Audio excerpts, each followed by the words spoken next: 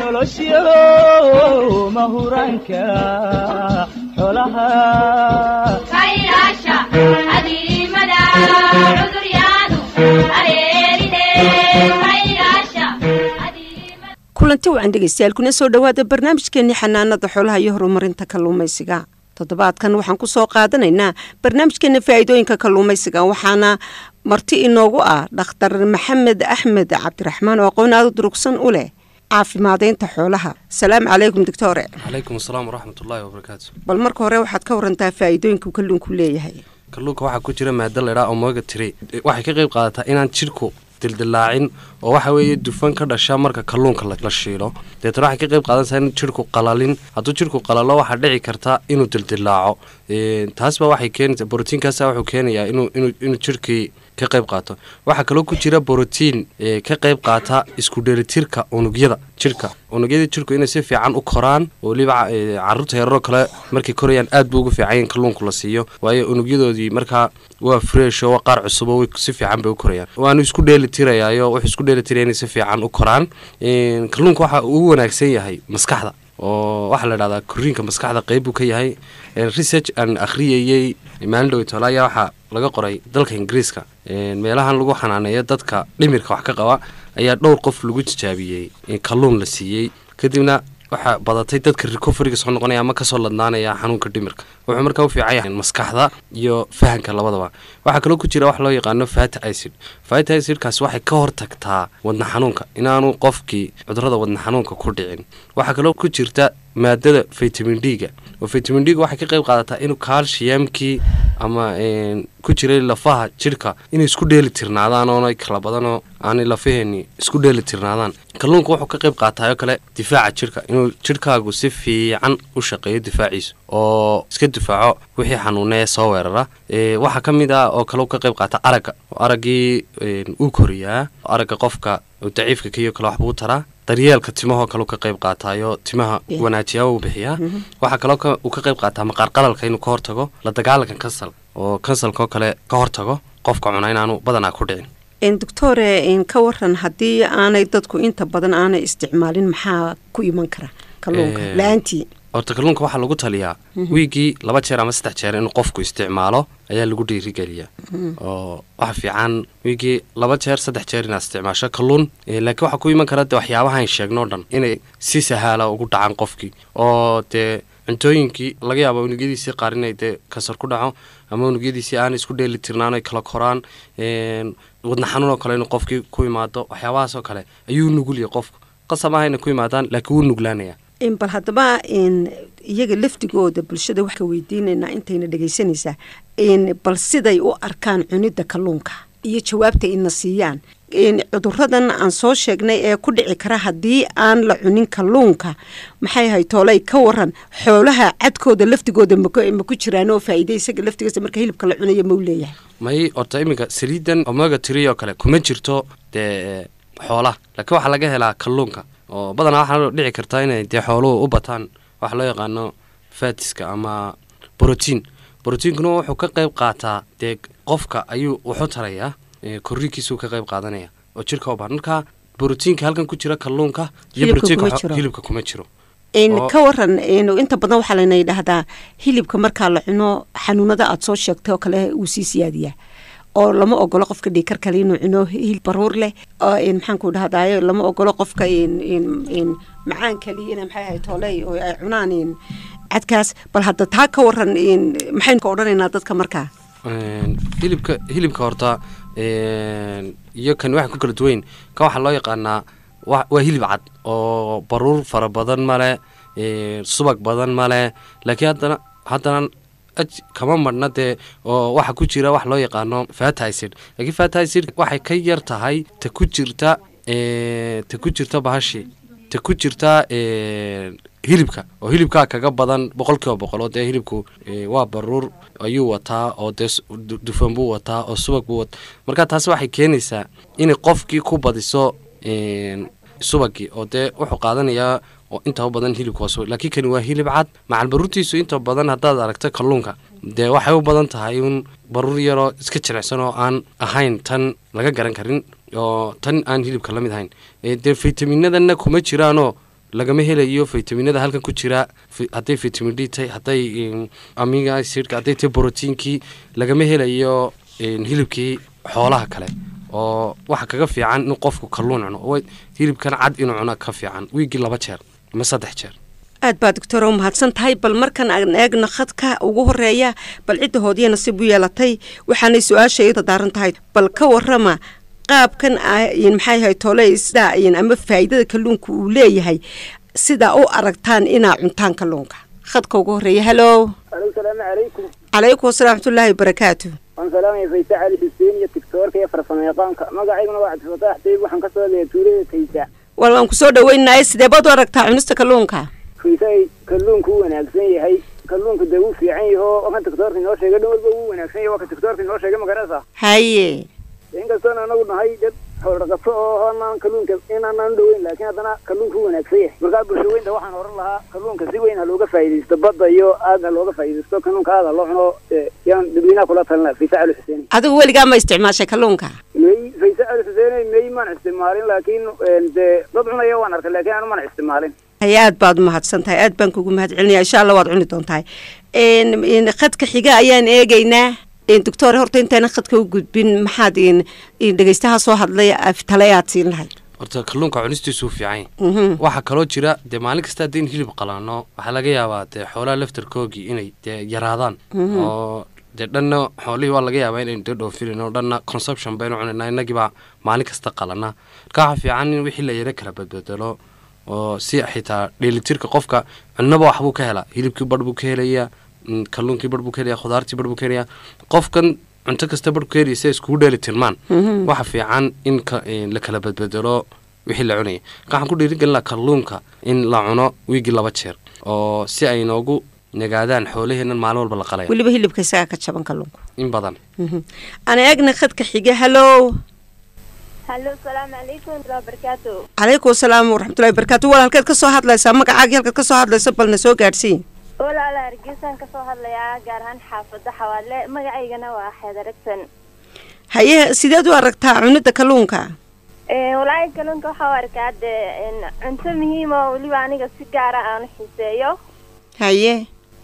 Horta runtiina dee hargeysaanu intaan imiday maba arkin xataa hal maalin ma cuno xaafaduhu hilib waaweyn unbay waxaan ku leeyahay jimcaha karsanayaanoo inta kalena bariis karasuun baa la wada karsanaya. Haye. Aad baaba nuga xiisay runtii maalin kasta xaraani suuqa tagaayo saysanaya marka kalluunku runtii anu waxaan u arkaa dee runtii cuntooyinka la cunata ugu wanaagsan oo ugu muhiimsan caafimaad ahaan iyo weliba jir ahaanba dee. Haye. Talabaad waxaa rabaa walaal inaan hal su'aal weydiiyo doctoorka haye. Markii dhawada xoola doctoorka waa isbuucii dee in laba jeer la cuno. Amba hal mar ayaa muhiima ka waran qof weligii cunan dee si dadka baadiyaha ku nool oo kale kalluun ma yaqaanaan hilib ari iyo hilibun bay aaminsan marka qof noloshiisaba kalluun cunan maxaa ku dhici karaa aad baad mahadsantahay bismillaah horta qofka dee aanu hil qof walba maalin buu bilaabaa ama ha yaraada hama weynaadee dee waxna wax ilaahay noogu talagalo qofka waxba kuma dhacayaan hadduu cuno laga yaabaa waxaa jira dadka qaar xasaasiyad ku yara leh oo dee qofka xasaasiyadda ama waxaa jirta beedkay dadka qaar ku ama kalluunka. Dee qofkii xasaasiyad leh oo dee xasaasiyadda ku kicinaya mooye laakiin qofku ama iminka ha bilaaba isagoo weyn ama isagoo yar ha bilaabee wax alla wuxuu ku noqonayaa ma jirto. Aad baad doctor u mahadsan tahay khadka kale aan eegno hallo asalaamu calaykum. Calaykum wasalaam watullaahi barakaatu soo dhawow macaan. Waan idin adiga iyo doctoorkaba. Anuu dee waxaan idhis marka la yidhaahdo qofka waxaa ma taqaanaa. Ha. marka af soomaaliga cusub waxaa la yidhahdaa waaba ciyaarahayga. Marka kalluunku aniga waaba ciyaarahayga laakiin waxaan walaalo weydiinayaa. Jeer waxaa la yidhaahdaa dadku markay meel hara ku jiraan waxay u baahan yihiin inay brotiin kalluun helaan. Had iyo jeer dadkan moolalka degan cadceed isma arkaan aroortii siday u galaan duhurkiibay markay gurigoodii aadayaan ay arkaan. Laakiin dadka aanay cadceed bay saragay waa dadka bacadlaha waayo siday subaxii u soo galaan xamaamyada dharyaha halka lagu kariyo waa dhulkaa wada dedan habeenkiina sidaasay guryahoodii ku tagaan. Markaa tamarta ugu badan waxa u baahan dadkaa bacadlahee dedan ma kula tahay mise waan iska hadlay doctoore waan ku salaamay. Aad iyo aad baad umahadsan tahay su'aal aqooni ka muuqatayna weydiisay Oo su'aashun oo faaduma aad bay umahadsan tahay aqoon baa ka muuqata hadalkeeda. Oo dee dadka dedanen cadceedda arag oo innaga hore u sheegno waxaa ku jira kalluunka vitamin d cadceeddana waxaa laga helaa vitamin d. Maadaamay vitamin d dii cadceedda ay automatic uga helayaan ama si toosa uga helaayeen ay ku yar tahay waxaa fiican inay kalluunka isticmaalaan. Oo qofka aan inta badan cadceed arag ma ha joogo meel qabooba ha joogo inta badan meel uu ku xaraysan yahay waxaa fiican inuu kalluunka isticmaalo si uu vitamin d u helo. Walaalaha ay sheegtay waxaa fiican wiigii laba jeer ama saddex jeer inay kalluun isticmaalaan. Doctorow mahadsan tahay anagana khadka kale. Hallow alo asalaamu calaykum calaykum asalaam raxmatullahi barakaatu soo dhawo walaal magacaaga halkaad ka soo hadlayso su'aasha dhakhtarka weydiinaysa. Walaal waa geelo nuur axmed geelo oo jooga magaalada hargeysa. Haye. Doctoorka waxaan weydiinayaa. Mhm. Kalluunku caafimaad intee leg baa laga heli karaa? Haddaad isticmaasho daily haddaad isticmaasho. Aad baad mahadsan tahay. Aad buu mahadsan yahay dhegeystahaasi. Een, waxaa laga heli karaa kalluunka. Saan hore kugu sheegay inaanay inuu unugyadaadii koriyo inaad fahanka maskaxdaadu sarreeyo inaad neerfisyadaadu ay u u roon yahay oo uu xanuunada neerfisyada ku dhaca ka hortago isku dheelitirka. Waxa calciumta loo yaqaane lafaha koriya. Macdanta calciumta ayuu isku dheelitirayaa. Waxaa kaloo laga heli karaa vitamin d oo qofka ama meel qabow jooga ama inta badan cadceed arag vitamin d buu ka heli karaa. Waxaa kaloo uu koriyaa timaha oo daryeela. Waxaa kaloo maqaarka ka ilaaliyaa qalaylka oo saan hore u soo sheegay maadada omega tree baa ku jirta oo oo dufana oo saliida. Saliidaas oo laga helo marka kalluunka la dubo taasi waxay ka ilaalinaysaa jirka inaanay qalalin oo hadduu jirku qalalo wuu dirdilaacayaa wuxuu la dagaalamaa kansarka oo waxaa kaloo uu ka hortaga xanu- xanuunka wadna xanuunka isagana uu ka hortaga. Aad baad doctorow mahadsan tahay. Asalaamu calaykum. Yaqaanada walaal waan ku soo dhaweynaynaa macaan iyagaan soo dhawahay waa xamdo ka soo hadlaysa gobdheer. Aan ku salaamaynaa xamdaay haye? Marka anuu faysay su'aashiina haddii aan ka jawaabo horta guud ahaan kalluunka waxaan leeyahay kalluunka waa muhiim waxaa laga helaa caafimaad aada u weyn. Haye? Midda kalena maanta xoolaheenu aad bay u sii yaryihiin waxaad moodaa inay sii dabar go'ayaan. Marka taa daraadeed inagoo ka duulayna waxaan leeyahay waa in kalluunka awoodda la saaraa oo si weyn loo isticmaalaa si hilibka badan looga maarmo.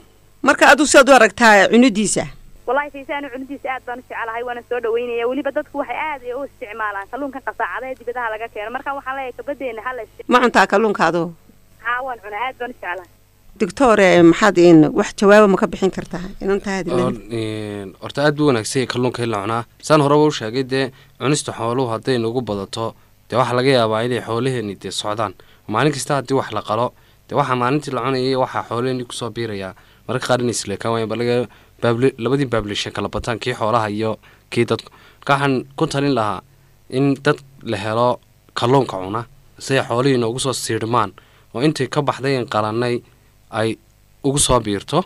Oo dee mararka qaar waxaa dhici kara abaaro dee maadaama abaaro dhici karaan dee xoolihii halka xoolo badan baa inagaga baaya. Marka intay xoolihii noo soo siidhmayaane dee waa in laysku dheeli tiraa oo kalluunka lagu bedelaa saynan taasiba sheegtay. Waxaa kaloo ku dari lahaa faysay waxaa jira waxyeelo uu kalluunku yeelan karo. Oo weliba waxaan kula dardaarmayaa waxyeelada dadka badaha ka shaqeeya ama meelaha webiyada ama meelaha lagu dhaqmo. Iminka waxaa jira maadada mercuryga la ydhaha haddii biyaha ku badato waxaa dhacaysa intaa aynu sheegnay ee ee nidhi kalluunku ka hortagaa inay lidkeed keento oo ay kansar sababto oo uurjiifka waxyeesho oo neerfaha waxyeesho oo ay sababi karto inuu carruurta yaryar xitaa korriinkoogii uu caadi noqon waayo. Marka in- de waayo badihii marka la marayo wax lagu shubo kiimikii wax lagu shubo waxaa dhici karta inay dee mercury ku wadato oo ay dadkii wax yeesho ama meelaha webiyada. Marka waxa- ama meelaha dee harooyinka ee lagu dhaqan kalluunka marka ninka kalluumaysiga siduu garanayaa inuu kalluunkani mercury biyo mercuryada uu cabay? ma garanaya kalluunka laakiin Ah. iyagu inay hadimada ka daayaan ciddii badaha wax yeelaysa ay dowladda la xidhiidhsiiyaan oo aanay noqonin dee meeshay ka xaabayeen inay wax kala soo baxayeen inaan loo aamusin wadaa aamusin. dhibaatooyinka Ah. ka jira badda. Aad baa doctor u mahadsan maxaan ku dhahdaa ayay bal ka waran kalluunka iyo xoolaha. Wax xidhiidhi ma ka dhexeeya? Mayo de horta xidhiidhka wax xidhiidho ka dhexeeya ma jirto. Hay. sababtoo ah waxaan uga dhexaynin iyaguna baday ku nool yihiin oo wana berigii bay beriga ku nool. yihiin. Oo sababtoo ah dee kalluunka marka la soo saaro laga yaabaa de inuu baktiyaba oo dee xikmad baa ku jirto markaad shabagii dhigatay inuu kalluunka hore badda ugu sii baktiyey iyo inuu markaad la soo baxday baktiyey dee ma kala garan karaysid laakiin baktigiisii already waa inoo xalaal. Ama bad ha ku dhex dhinto, ama dibad ha ku dhex dhintee Ah. waa inoo xalaal. Marka taas waa xikmad rabaaniya ku jirta oo qofkii de inaan maskaxdiisii la mashquulin. Mm, ta labaad waxa weeye wax xidhiidha oo toosa oo ka dhexeeya xoolaha iyo iyo kalluunka ma jiro. Dadka qaar baa waxay qabaan fikirka ah shimbirta badda ma cunayno shimbirta berigana ma cunayno. Waa digaag iyo kalluunka. Bal taa ka waran Eh, labada ugu fiican weeye horta oo hili brotiin laga helo aad baan u jeclaan hilibka digaaga iyo hilibka kalluunka labadaba. Eh, labaduba waa laba aada u muhiima. Weliba dadka iminka dee waxay jecel yihiin inay inaanay naaxin haddana miisaan helaan. Waxaan kula dardaarmi lahaa dadkan jiimka aada u isticmaalaa. Marka labadaa laguma naxa doctor miya. Maye qofkuu naaxaya laakiin dee baruur aada u badan ayaanu yeelanayn waxaa laga yaaba qofki inaanu calool badan yeelan hilib badanoo dee jirkiisii laalaama aanu yeelan laakiin dee in yaroo ku filan buu naaxayaa. Oo dadka iminka jiimka ciyaaro kale waxa wanaagsan hilibka digaaga iyo hilibka kalluunkaba cunaan. Labadaba. Dunidana haddaad aragto hilibka digaaga aad baa loo isticmaala faysay iyo kalluunkaba oo dee kombaniyada iminka ugu waaweyn albeyko kale iyo k f c iyo dee waxay ku meel mareen dee waa hilib digaaga iibinayaan. Ma dee dunida dhegeyso doctore hadda iminka digaaga dibaddaa laynooga soo dhoofiyaa waanaynu iibsanaa. Dalkeenana digaaga dhaqidiisu aad bay ugu yartay bal taa ka waran bismillaah digaaga waxa dee dhaqistiisu waxay tahay waxay ka qayb qaadanaysaa waxaan loo yaqaano contagaska bila- bulshada ama sidii dhaqanka bulshadu yahay. Hore umaynaan aqoonin faysaay in digaag la dhaqdo oo dadku dee berigi hore in yaroo xaafadaha carruurta iskaga dhaqata mooye digaag badanoo ganacsi loo dhaqdaa inaguma jirin cilmi badanna looma lahayn. Taasaa keenaysa inaanay oo geela iyo adhiga iyo waxaana inugu weynaa. Iminkubaad moodaa bulshada inay soo xadaariyoobayso dee faamam la sameynayo ama beero lagu dhaqa digaag la sameynayo mar kastoo cilmiga bulshadu kor u kacana xadaaradaas sii badanaysa. In aad doctor aad u mahadsan tahay bal aan eegna markana khadka halo calaykum raxmatullahi barakaatu inshaalla xuseen waan salaamaya yidi soorkaba waan ku soo dhaweynana anaguna walaalo maxamed xuseen oo jooga hargeysa haye. Waan soo dhaweynaya wala barnaamij ka fiican kaga hadlaysaan kalluunka iyo waxtarkiisa iyo ummadda faa'iidada u leeyahay aad baa ugu mahadsantihi aad baad adiguna u mahadsantahay bal ka waran in sidaad u aragto cunida kalluunka. Walaalaas walahi fiisa runtii berigii hore dee waxaan aanu dadkii xunka ahaa ee aan kalluunka aada u cuni jirin haye. Haddase laakiin waxaan ka mid ahay bulshada baratay ee xiiseeya cunitaankiisa ee aadka u jecel maasha allah haye bulshadana waxaan kula talin lahaa inay kalluunka aada isticmaalaan maadaama uu borotiinkiisuna fiican yahay lacag ahaana kaba jaban yahay xagga isticmaalka hilibka doorka waxaan weydiin lahaa ha maadaama uu yidhi borotiinka uu jirku u baahan yahay kalluunka uu ka helaya uu badan yahay ha qofku macnihi ma wiigii inuu mar cunaadaa ayaa muhiima ma inuu bishii mar cuno ma inuu wado markaa intaa inuu laga saalsaanan doono aadna u mahadsan aad baad mahadsantahay adiguna walaal bismillaah qofka waxaa lagula taliyaa wiigii laba jeer ama saddex jeer inuu cuno ayaa fiican. Hadduu helayana dee wiig oo dhan inuu iska cuno laakiin waxaa fiican dee si aanu cuntooyinkii kalena uga tegin saddex shay inuu cuno kalluunka ayaa aada u fiican. Doctor ee ka waran hilibka laftigiisa haddii aan la cunin qofka waxbaa jidhkiisa si ka noqda taa ka waran horta hilibka dee laftarkiisa qofku wuu u baahan yahay oo dee waxaynu u baahan nahay dee faat baa ku jira. Jirkaaguna dee kama maarmeeyo faatiskii marka waxa fiican in laysku dheeli tiro weliba kalluunka la badso. La- haddaad hilib laba cisho cunto saddex cishona kalluun cunto maalinta kalena aad wax kale iska cuntaa fiican. Laakiin waa kolba dadka siduu dhaqaalahoodu u siduu u helaya qofka waan ku daray marka hore. ay u helayaan Ah, weeye siduu u helaya marka hore waan ku daray. In- bal aan eegna khadka. Hello. ha asalaamu calaykum magacaagii halkaad ka soo hadlayso waan ku soo dhaweyneynaa bal ka waran in maxaan ku dhahdaaye in kalluunka qaabkeebaad u aragtaa in la cuno. Haye waa qaali weeyaan yaa kugu yidhi waa qaali? Beeraha ku arkay maka suuqa ay ku iibinayaan bararkayo ha mahal mahal iibsan karaysa maa badeer inuu ka soo baxayaa idina maysan kar. Shan ku baalgaa sida inta ugu yar. Dhakhtarkaynu ku duweynaa hadalka. Haye bismillaah horta kalluunka dee waxyaabo badan sida xoolaha ma ahe waxyaabo badan buu u baahan yahay. Oo qaaliga waxa keenaya dee dadkii baan xoog wada baran. Qofku wuxuu uga baahan yahay wax loo yaqaano preservation inuu la ilaaliyo kalluunkii oo tallaagad lagu ilaaliyo kow marka badda laga soo guro. Laba marka berbere la keenay in tallaagadii lagu ilaaliyo marka hargeysa la keenayo ilaa intuu dabka ka gelayo dee in la ilaaliyo doonaya. Waa midha kale qofka badda ku jiray dee muddo dheer buu ku jirayaa.